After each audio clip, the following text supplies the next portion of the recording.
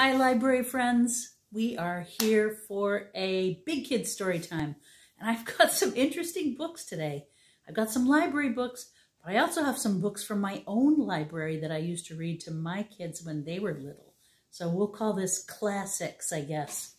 The first one, I'm going to flip around so you can see the pictures. The first one is called Amos, the story of an old dog and his couch by Susan Seligson and Howie Schneider.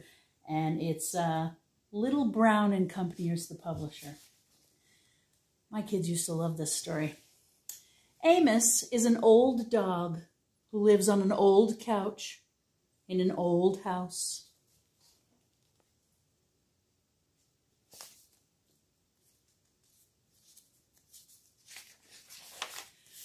That used to be filled with activity. Once the kids were all grown up and had moved away, things were kind of quiet. Mr. and Mrs. Bobson went out a lot, but they never took Amos with them anymore. Where do they go? Amos wondered. If only I could go along, he thought. One day, after the Bobsons had gone out, Amos awakened was awakened by a loud, persistent bzzz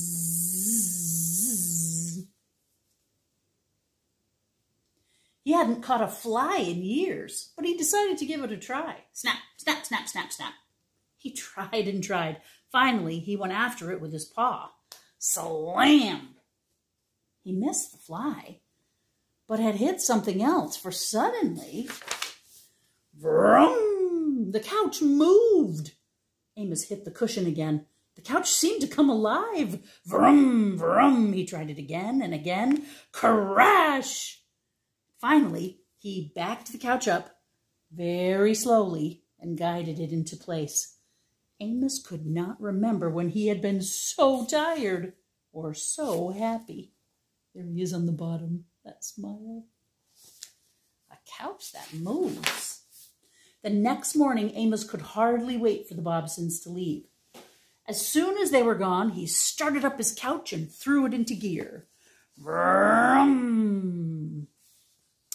He shot out the door just in time to spot the Bobsons pulling out of the driveway. So he followed them. Right out into traffic. He managed to stay with them all the way to the supermarket. Probably gonna buy me some chicken, he thought, and he waited patiently for their return. Look, he drives his couch right into the parking lot.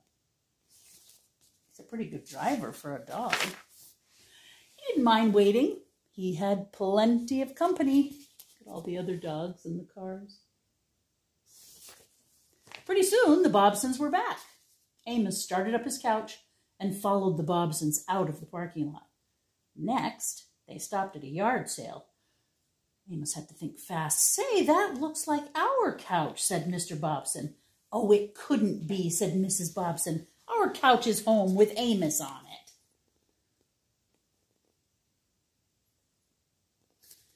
Amos hiding behind the couch. You had to think fast. Amos decided he had taken enough chances for one day. When the Bobsons drove off on their next errand, he headed straight for home. When the Bobsons got back, they found Amos stretched out on his couch as usual, looking a bit more tired than usual. That night, they all had chicken, just as Amos knew they would.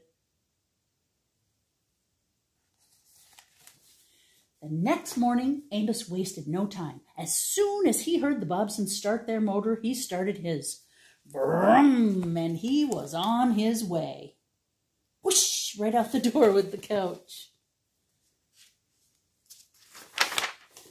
He followed them downtown. See the couch? All the other cars are off the road. And over the bridge.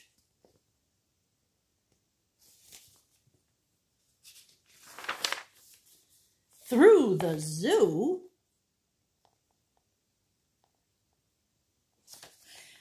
Past the playground, Amos began to grow tired and hungry, so he headed home.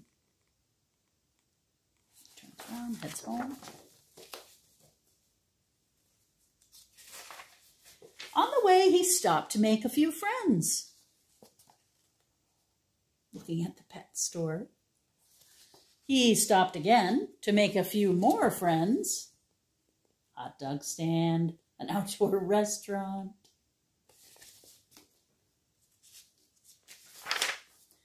And a few more. Suddenly, Amos realized it was getting late. I'd better hurry, he thought. But what Amos hadn't thought about, and what dog does think about such things, was rush hour traffic. Uh-oh.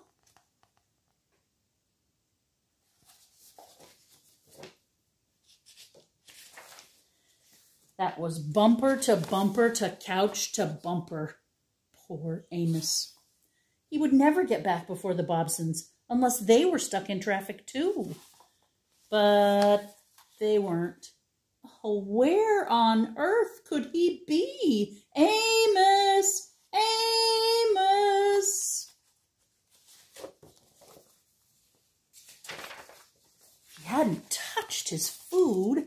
His toys were they were where they had always been, under the couch, but where was the couch? The Bobsons began to fear they might never see Amos again. But rush hour doesn't last forever. Whoosh! Amos!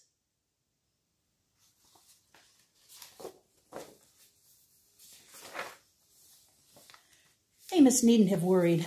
The Bobsons were just happy to see him. So that's your secret, they said. From then on, Amos was the happiest dog in the world because the Bobsons took him everywhere they went. There they go. And every once in a while, Amos took them someplace too. Whoosh, vroom, a ride on the couch. That is a silly story. Amos, the story of an old dog and his couch. Susan Seligson and Howard, Howard Schneider. That's not that terribly old. 1987.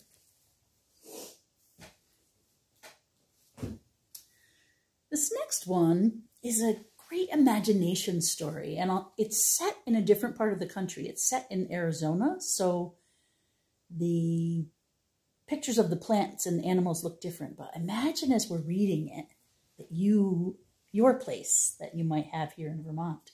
This is called Roxaboxen by Alice McLerran, illustrated by Barbara Cooney. And it's actually based on a real story. I'll tell you about it after we read. See? Very different. High desert. Roxaboxen.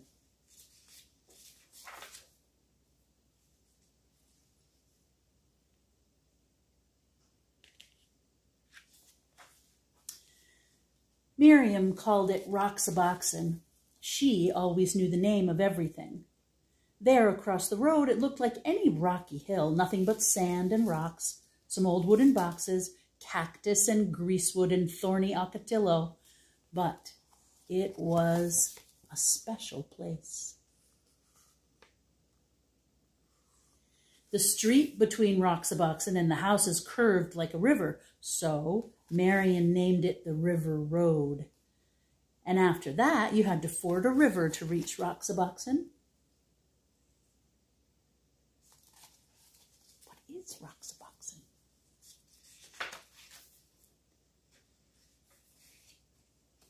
Of course, all of Marion's sisters came, Anna May and Frances and little Jean, Charles from next door, even though he was 12. Oh, and Eleanor, naturally, and Jamie with his brother Paul. Later on, there were others, but these were the first. Well, not really the first. Roxaboxen had always been there and must have belonged to others long before. There they are. The neighborhood. When Marion dug up a tin box filled with round black pebbles, everyone knew what it was. It was buried treasure. Those pebbles were the money of Roxaboxen. You could still find others like them if you looked hard enough. So some days became treasure hunting days, with everybody trying to find that special kind. And then on other days, you might just find one without even looking.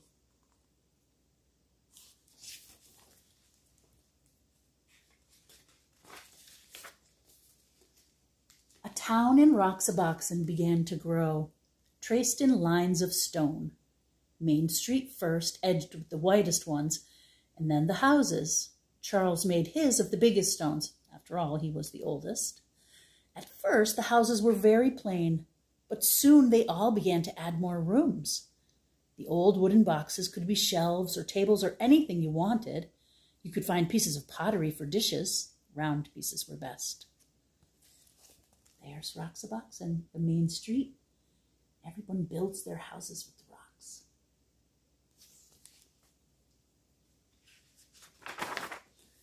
Later on, there was a town hall. Marion was mayor, of course. That was just the way she was. Nobody minded.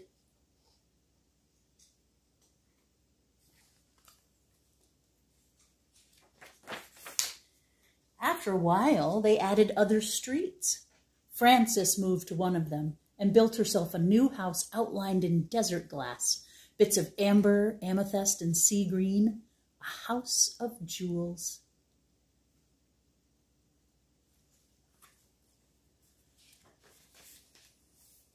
And because everybody had plenty of money, remember the pebbles? There were plenty of shops. Jean helped Marianne in the bakery. Pretend pies and cakes and bread baked warm in the sun. And there were two ice cream parlors. Was Paul's ice cream the best or Eleanor's? Everybody kept trying them both. In Roxaboxen, you could eat all the ice cream you wanted.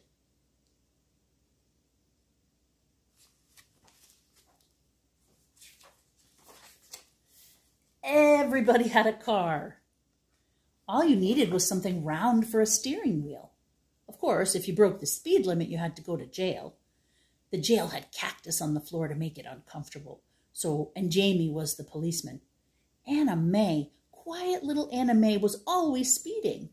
You think she'd like going to jail?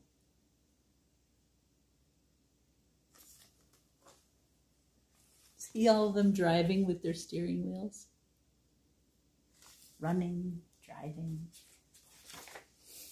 But oh, if you had a horse, you could go as fast as the wind.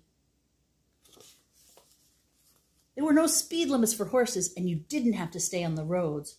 All you needed for a horse was a stick and some kind of bridle, and you could gallop anywhere.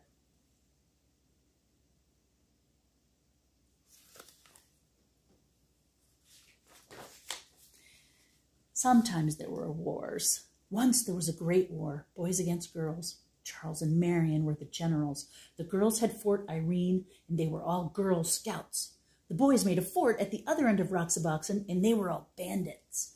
Oh, the raids were fierce, loud with whooping and the stamping of horses. The whirling swords of Ocotillo had sharp thorns, but when you reached your fort, you were safe. Boys' fort and the girls' fort.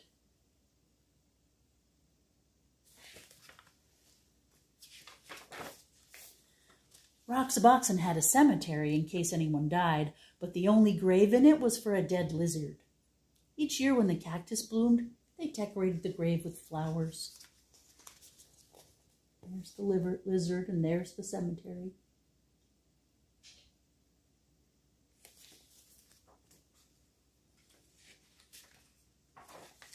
Sometimes in the winter, when everybody was at school and the weather was bad, no one went to Roxaboxen at all. Not for weeks and weeks. But it didn't matter. Roxaboxen was always waiting. Roxaboxen was always there. And spring came and the ocotillo bl blossomed and everybody sucked the honey from its flowers. And then everybody built new rooms and everybody decided to have jeweled windows. That summer, there were three new houses on the east slope and two new shops on Main Street. And so it went. The seasons changed and the years went by. Roxaboxen was always there. The years went by and the seasons changed until at last all the friends had grown tall, and one by one they moved away to other towns, to other houses. So you might think that was the end of Roxaboxen. But oh no, because none of them ever forgot Roxaboxen. Not one of them ever forgot.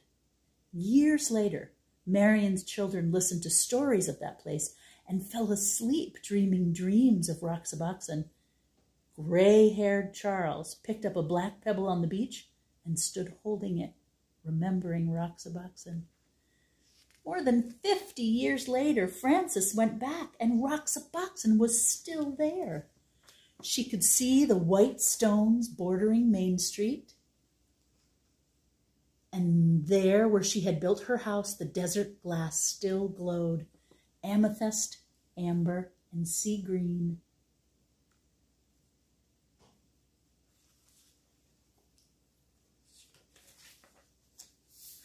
the end. So the uh, note in the back of the story says that um, on a hill on the southeast corner on 2nd Avenue and 8th Street in Yuma, Arizona, there is a place once known as Roxaboxen. The events in this book really happened to Alice McLerran's mother. So the author's mother.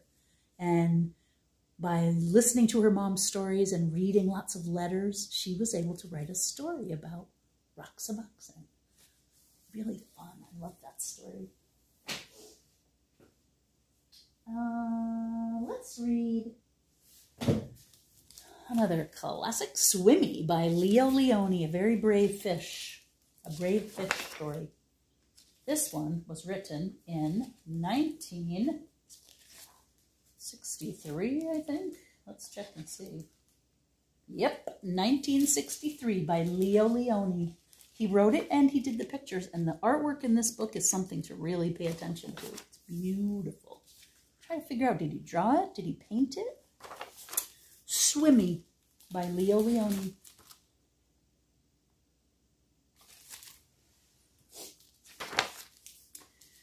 A happy school of little fish lived in the corner of the sea somewhere, and they were all red. Only one of them was as black as a mussel shell.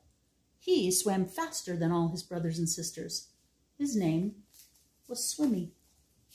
There he is. One bad day, a tuna fish, swift, fierce, and very hungry, came darting through the waves. In one gulp, he swallowed all the little red fish. Only Swimmy escaped.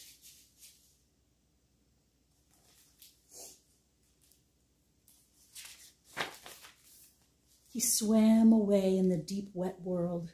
He was scared, lonely, and very sad. Little tiny fish in a big world, all alone. But the sea was full of wonderful creatures, and as he swam from marvel to marvel, Swimmy slowly became happy again. He saw a Medusa made of rainbow jelly.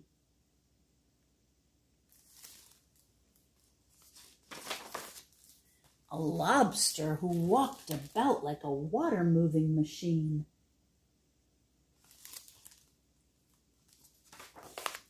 Strange fish pulled by an invisible thread.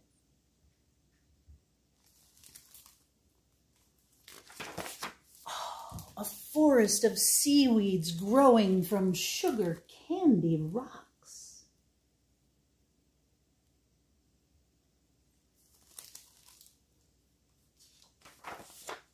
An eel whose tail was almost too far away to remember.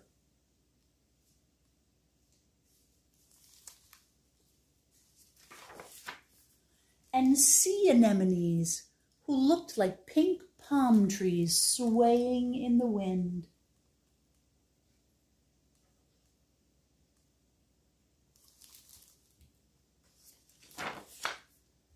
Then, hidden in the dark shade of rocks and weeds, he saw a school of fish just like his own. Let's go swim and play and see things, he said happily.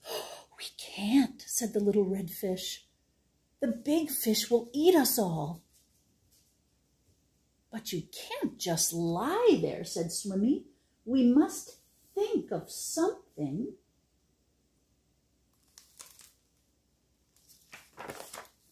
Swimmy thought and thought and thought. And then, I have it, he said. We are going to swim all together like the biggest fish in the sea. Hmm. He taught them to swim close together, each in his own place.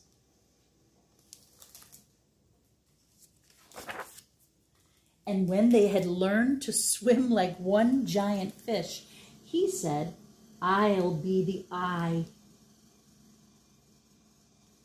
It looks like a big fish. And so they swam in the cool morning water and the midday sun and chased the big fish away.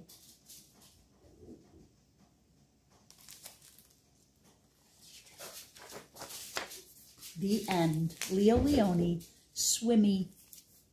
Good story. Also beautiful artwork. The texture of these pages is something. I don't know if you can see it up close. It's almost like makes you want to touch it. All right, we're going to have one more story here. And this is a very old story. It is not a library book. Good thing, because it's a mess. It is a book from my library that I've had for a very long time. It was written originally in, goodness, how old is this book?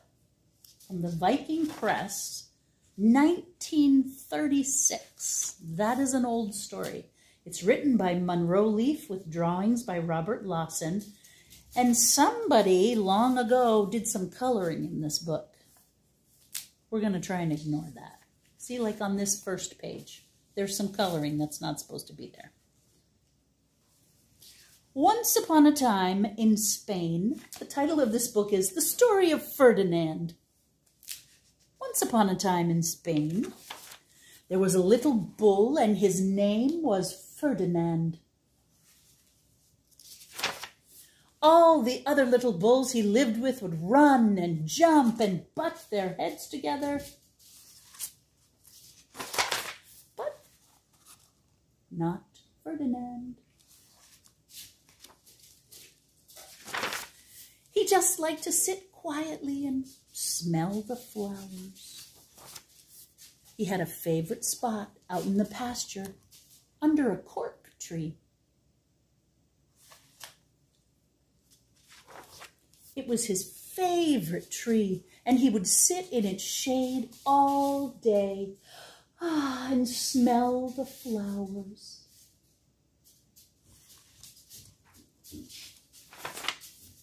Sometimes his mother, who was a cow, would worry about him. She was afraid that he would be lonesome all by himself.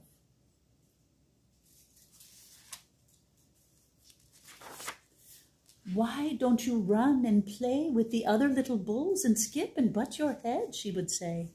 But Ferdinand would shake his head. I like it better here, where I can just sit quietly and, ah, smell the flowers.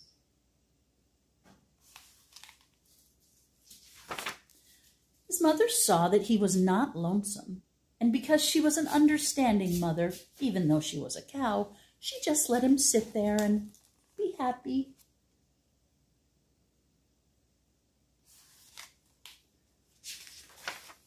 As the years went by, Ferdinand grew and grew and grew until he was big and strong.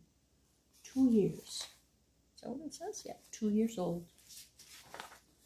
All the other bulls who had grown up with him in the same pasture would fight each other. All day they would butt each other and stick each other with their horns.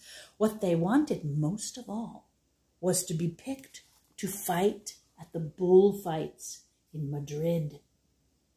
There's a sign.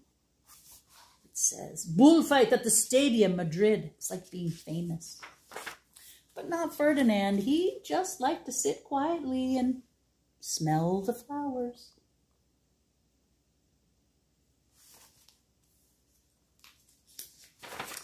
One day, five men came in very funny hats to pick the biggest, fastest, roughest bull to fight in the bullfights in Madrid. There they are, and yes, their hats are very funny.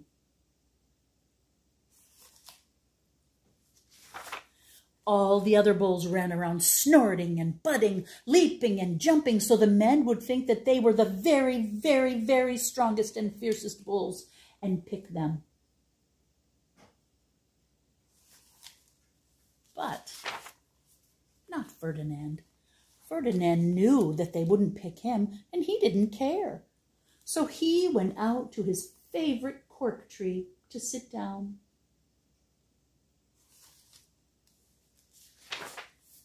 He didn't look where he was sitting, and instead of sitting on the nice cool grass in the shade, he sat on a bumblebee. Well, if you were a bumblebee and a bull sat on you, what would you do? You would sting him, and that is just what the bee did to Ferdinand. Uh-oh, that is a face. Ooh.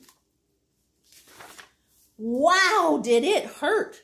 Ferdinand jumped up with a snort. He ran around puffing and snorting, butting and pawing the ground as if he were crazy.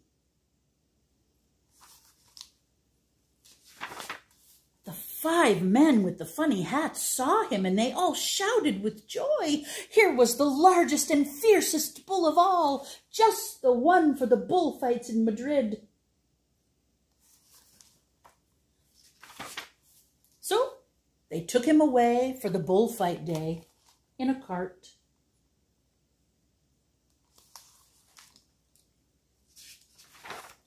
What a day it was. What a celebration. Flags were flying. Bands were playing.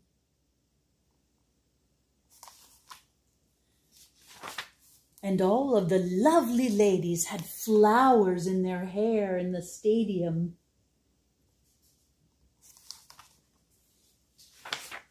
They had a parade into the bull ring. First came the bandy banderilleros with long, sharp pins with ribbons on them to stick in the bull and make him mad.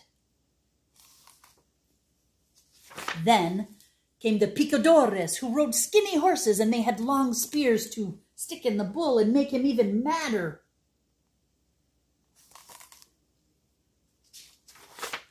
Then came the matador, the proudest of all. He thought he was very handsome and bowed to the ladies he had a red cape and a sword and was supposed to stick the bull last of all.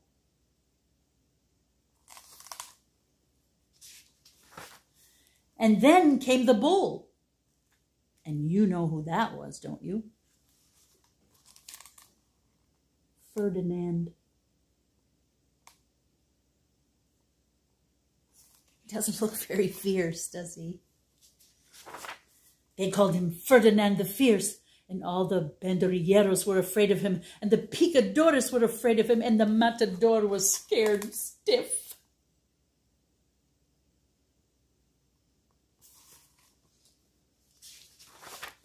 Ferdinand ran to the middle of the ring, and everyone shouted and clapped because they thought he was going to fight fiercely and butt and snort and stick his horns around.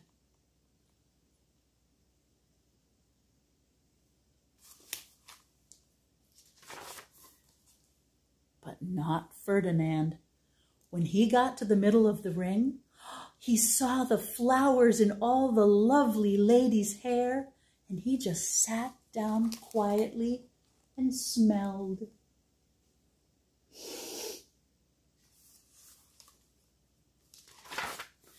He wouldn't fight and be fierce no matter what they did. He just sat and smelled and the banderilleros were mad, and the picadores were madder, and the matador was so mad he cried because he couldn't show off with his cape and sword. So they had to take Ferdinand home in a cart. And for all I know, he is still sitting there under his favorite cork tree, smelling the flowers just quietly. He is very happy. The end. The Story of Ferdinand by Munro Leaf, 1936. That's a pretty good story.